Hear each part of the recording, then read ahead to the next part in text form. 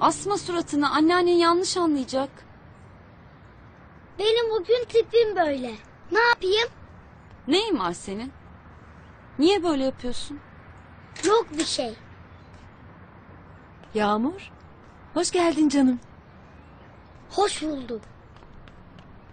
Hoş geldin. Hoş bulduk.